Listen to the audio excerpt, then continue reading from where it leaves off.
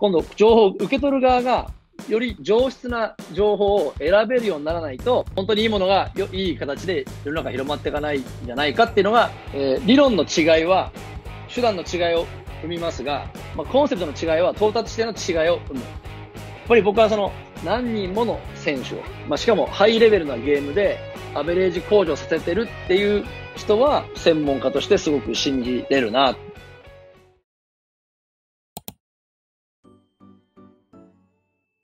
まあ、バスケットボールの教科書っていう本が、まあ、一つテーマになってます。まあ、これと僕が最近ちょっと読み進めてる専門誌っていうことに関しての情報を、まあ、皆さんにアウトプットするというのを一つテーマにして、今回、えー講習会構成してます。えーほ今日の、まあ、なぜこのテーマになっていったかのその導入のところです。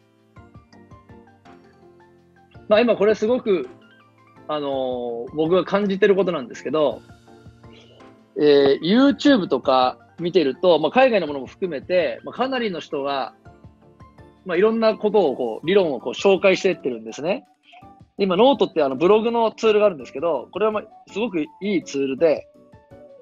まあ文章で説明しながら、そのまま YouTube のリンクをポンと貼ったりもできるんで、なんならこう、本を書くよりも、すごく技術とかを説明しやすいツールになってたりするので、結構これも、今いろんな人が、まあ、技術論とかを書いて、えー動画も貼ってみたいな、説得力結構あるような内容をまとめてるものが結構出てきてます。まあ、それ以外に今、Twitter とか、まあ、TikTok っていうのを使った、まあ、技術に関して、まあ、本当に短い時間でパッと見せるみたいなものがどんどんどんどん出てきてます。で、今回僕が何を問題提起したいかというと、ちょっと過去を振り返るんですけど、昔はですね、まあこれ右の本はまあ僕にとってまあすごくインパクトが大きかった本、まあ一つ例なんですけど、まあそもそも世の中に情報を出すっていうのの負荷がすごい高かったんで、発信する人自体がそもそも厳選されてたんですね。で、なんならまあこういう権威がある人みたいな人しか、それを担うことがなかったんで、まあ我々は結局、その、情報を受け取る側は、なんだその選ぶ負荷みたいなものはあんまりなかった。し、まあ逆に言うと、その発信する人自体が、まあその少なくて、しかもすごく厳選されてたんで、もうそれが正しいんだろうっていう、唯一の正解なんだろうみたいな感じの雰囲気に、まあすごくなってたわけです。なので、昔のその一つリスクとしたら、その、もしその発信する人が、まあ、あんまりこう吟味されてないものを出してしまったり、なんなら間違った情報を出したりしてしまうと、もうそれが正しいんだろうってこう広まるので、まあ、お大勢がすごく大きく、まあ、違う方向に進んじゃうみたいなリスクがあったのが、まあ、本当に昔、一昔前の情報の流れだったわけです。まあ、それが、まあ、今はもう誰しもが自身の考えを世に出す機会を手にしたので、まあ、これによって、まあ、例えば、いろんなこう情報がある分、誰かがちょっと違う情報とか間違った情報を出したとしても、まあ、他にいろんな情報があるわけですから、まあ、選べるようになってると。だから、そうやって価値がある情報が結局たくさん世に出やすくなった。権威とかがなくても出せるようになった。まあでもそれと同時に、こうあまり価値がない情報っていうのも、まあ、世に溢れちゃうっていう状況を今、生み出してるなと思うんですね。だ僕は今、いろいろ見てても、あのーあ参考になるなっていいなと思う情報もあれば、まあちょっとそうじゃないものとか、まあミスディレクションされるなって思うようなものも、まあ、たくさん目にするなと今思ってます。まあそういう中で、えっ、と、皆さんちょっとこの TED のプレゼンを見たことありますかということで、ちょっともしかしたら見たことない方もいるかもしれないので、ちょっと冒頭流しますね。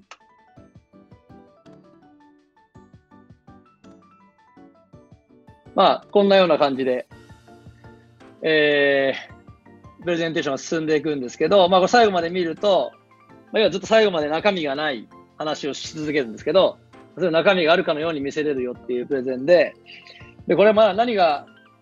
言いたいかというと、その SNS とか、まあ、YouTube とか、まあ、見せ方が、どんどんテクニックとしても広まっていってると、ま、あたかもすごく専門的なことをよく言ってるかのように見えるものっていうのはたくさん増えるし、増えてきてるっていう状況で、これからまあ特にこれは、まあ、僕は若いコーチを育てるってことを主題にしてる活動なので、その、これから情報を得ていこうとしてる若者たちは、まあ、うちのコーチたちもいつも話をすると思うんですけど、まあ、すごくそういうインスタントに手に入った YouTube の情報とか知識とかで、まあ結構それがウェイトがやっぱでかくなりすぎてるなって思うこと結構たくさんあるんですね。で今、あの、今回は一つまあシュートっていうのはテーマにあるんですけど、まあその題材はシュートではあるものの、そのそもそもその情報とか、そういったものをどうやってこう我々は受け取っていくべきかって話を一つテーマに挙げたいんですね。で、その中で、もう一回スライドちょっと手、えー、共有します。まあ今、もう価値がないものもあるかのように見せたり、専門家ではない人が専門家のように振る舞えたりってことをしやすくなってる状態で、今度情報を受け取る側がより上質な情報を選べるようにならないと、まあ、本当にいいものがよいい形で世の中広まっていかないんじゃないかっていうのが、まあ、一つの、まあ、問題意識です、僕の中で。今、このプレゼン見てもらいましたけど、まあ、これがバスケの教科書っていう本の一番最初に出てくるページなんですけど、まあ、ここでは、昔はそもそも情報がなかったので、まあ、なんとかっていう技術とか、なんとかっていう戦術を知ってると、まあ、それが優位さになって、まあ、勝ち負けだったり、まあ、交渉しての優秀さの、えー、材料になったけど、まあ、今はもはや情報が溢れてるから、まあ、たくさん知ってるというだけじゃなくて、その中から、まあ、最良なものを選ぶっていう、こう選べるっていう能力が大事だよねっていう、まあ、そういうページなんですね。まあ、でも、この選ぶってところが、すごく、